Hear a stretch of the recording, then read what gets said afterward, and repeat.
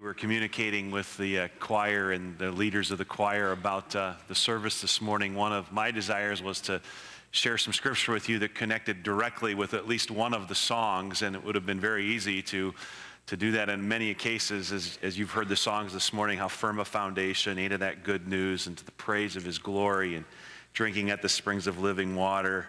May God give you a blessing. I won't try to say that in uh, Swahili and Arise My Soul, Arise. But when I heard that they were going to be concluding the program with Abide with Me, I thought how fitting of a portion, uh, uh, how fitting of a song, and there are portions of Scripture that would fit so very well with that this morning. And so this morning, I want to take just a few moments to look at a couple of verses of Scripture. And as we do so, just to impress upon your hearts the importance of the, the abiding presence of the Lord the abiding presence of the Lord. And Henry Lyte is the man who wrote that poem that then later be, became a song. And as is the case with so many of our, our hymns, there is such a rich, rich history typically behind each one of the hymns and why they were written and the life setting in which the author found himself. And I want to share a few of those details with you this morning before we look at this specific portion of Scripture about the abiding presence of the Lord, because Henry Lyte was a pastor.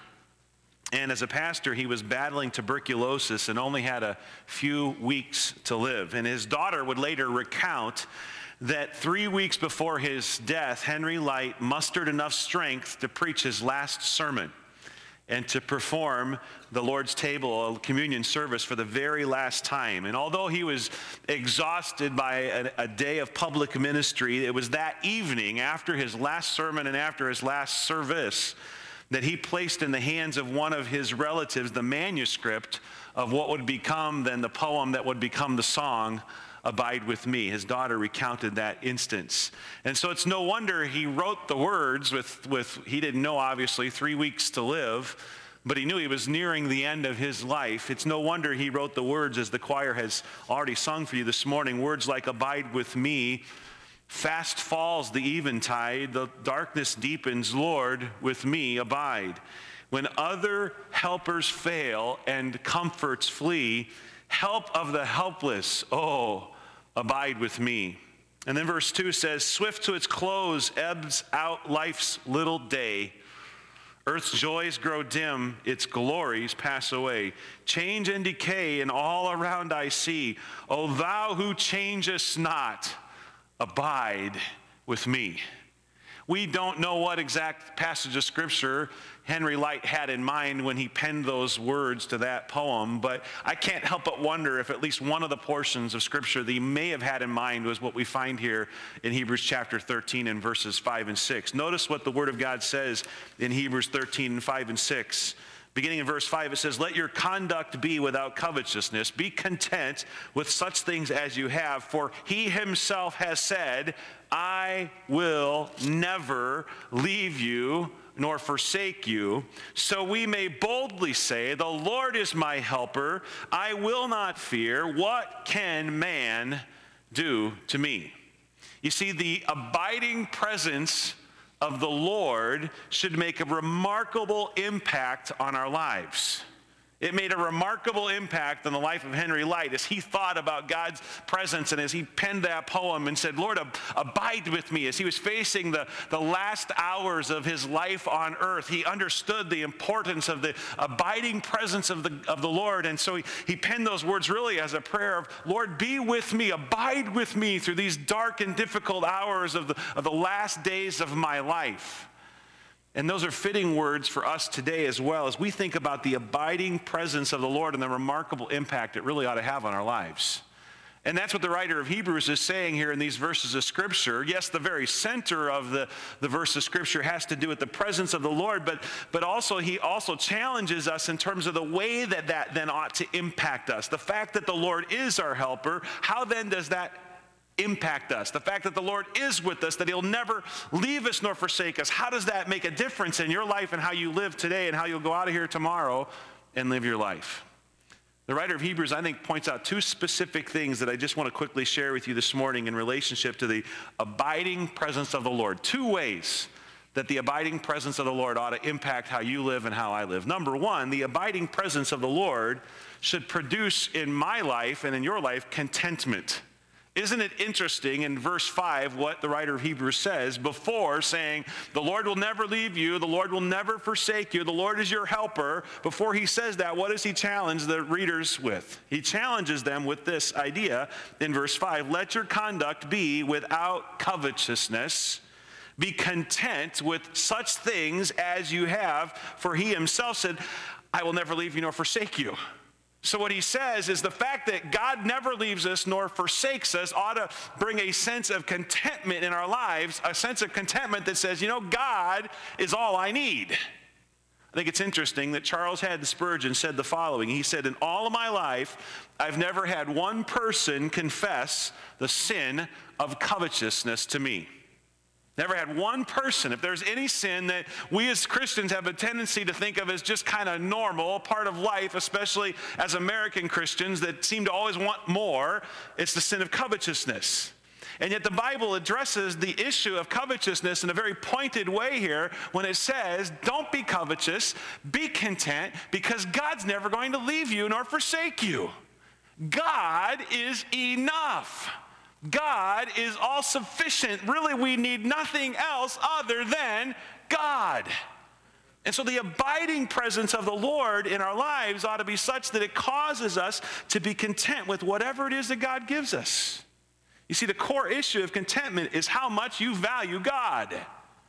When you value, when I value God like we ought to, then we'll, we'll be content with whatever it is He allows into our lives or whatever he, it is that He doesn't allow into our lives. And so contentment is the product of God being enough in our lives. You see, contentment can never be found in the abundance of stuff, the abundant possession of stuff. It can only be found in the abiding presence of the Savior. Contentment is the consequence of communion with your Creator. And so this morning, if you find yourself not being content, you ought to ask yourself the question where is my relationship with God? Is God truly enough? I like to think of it this way attempting to find satisfaction in material things is to the soul what drinking salt water is to the body. You know what happens when somebody drinks salt water thinking that they are going to quench their thirst by doing so? Just the opposite happens. Salt water actually dehydrates them and causes them to become more and more and more thirsty. And so, for us as Christians who try to find satisfaction and contentment in material things and the things of this world, is really doing the very same thing to our souls that drinking salt water does to a person's body. Instead of satisfying you, it just makes you more thirsty, more yearning for what it is that you're, that you're looking for. But when you find satisfaction and contentment in the, in the abiding presence of God and the fact that He will never leave you nor forsake you. That brings you real contentment. That brings you real satisfaction. I want to ask a question that's almost ridiculous when you really think about it. The question is simply this Is God enough? Are we content with God? Do you realize how ridiculous that question really is? Because by comparison to anything else that would offer us happiness, that would offer us satisfaction, that would offer us contentment in this world, nothing compares with God. And so, really, it's silly for us to even ask the question of, Am I content with God? Is God enough? Of course, God's enough. And so, why aren't we content? Why aren't we satisfied with what it is that God has given us or what it is God has not chosen to give us?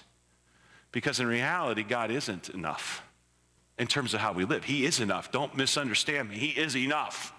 But in terms of how we live, oftentimes we think, oh, I would just be happy if I had this or had that, or if this circumstance was erased from my life, or that circumstance was erased from my life, or this circumstance was brought into my, my life. I'd be happy that. No, you'll only be happy if you find your contentment in the abiding presence of God who will never leave you nor forsake you. And so God must be enough for us. You can't improve on God. None of us can. And so the abiding presence of the Lord ought to produce in every one of our hearts, abide with me, ought to produce in, in my heart and yours contentment.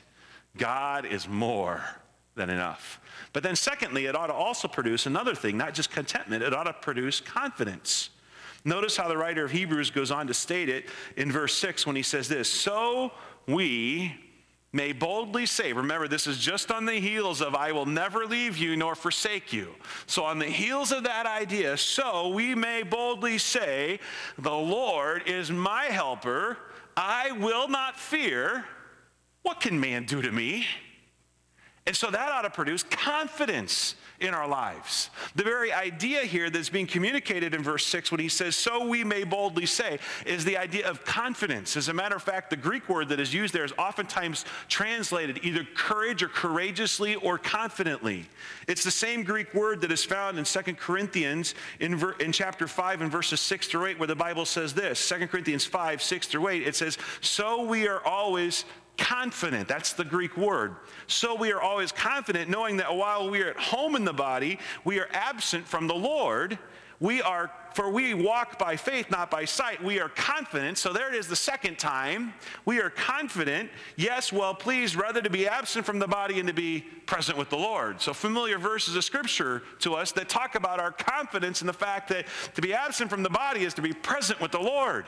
It's that idea that is encapsulated here in verse 6 of Hebrews chapter 13 when it says, So we may boldly say, so we may confidently say, so we may even courageously say, What? The Lord is my helper. I will not fear. What can man do to me? And so it gives us a sense of, of confidence as we place our confidence in God. If God is your helper, nothing else matters. I mean, you, you, think of this in terms even of other passages of Scripture, like Romans 8 31, the, the latter portion of the verse where it says, If God is for us, who can be against us? Almost a ridiculous question again, because the answer is nobody. If God is for us, if, if God is with us, if the Lord is my helper, why should I fear? What can man do to me? And so it gives us a sense of confidence to know that God is my helper, that God is with me, that God will never leave me, God will never forsake me. He is all you need to face whatever it is that comes into your life. He's all you need, He's all I need. No matter what you are facing in your life, the abiding presence of the Lord, of God, should inject confidence and courage into your very soul. Whether you're facing cancer, whether you're facing marriage difficulties, whether you're facing a job loss, whether you're facing health problems or, or physical exhaustion or emotional exhaustion or, or loneliness or depression or a struggle with an addiction or a sin issue or financial burdens, what, whatever it is that you're facing in life, you ought to be able to say, The Lord is my helper. I will not fear. What can man do to me? Or maybe put it this way The Lord is my helper. I will not fear. What can cancer do to me? I will not fear what can financial problems do to me. I will not fear what, what can loneliness do to me. I will not fear what can this burden or that problem or this struggle or that difficulty, what can it do to me? Because the Lord is with me and the Lord is my helper. So, whatever you're facing today, the very abiding presence of the Lord ought to bring you a sense of confidence. I will not fear. What can you fill in the blank, do to me. You see, the abiding presence of the Lord makes all of the difference.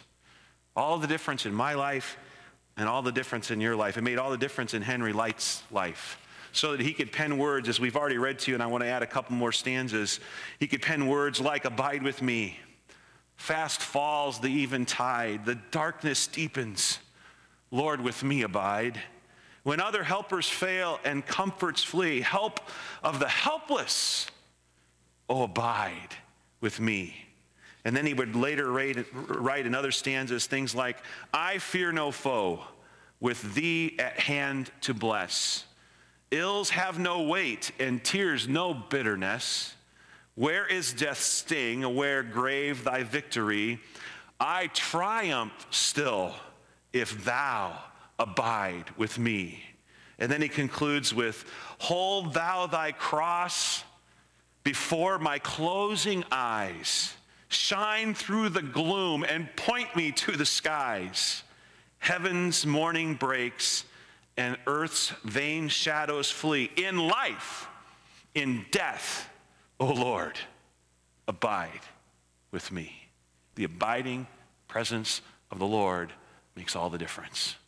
And all God's people said, Amen. Let's pray. Father, thank you for that promise that you will never leave us nor forsake us. And I pray today that as we dwell upon that and the other truths that we've heard in song and through Scripture today, that it would bring confidence and courage to every one of our souls. And Lord, that we would look to your abiding presence whenever we face life difficulties, that we might be found faithful as we seek to serve you. We pray in Jesus' name.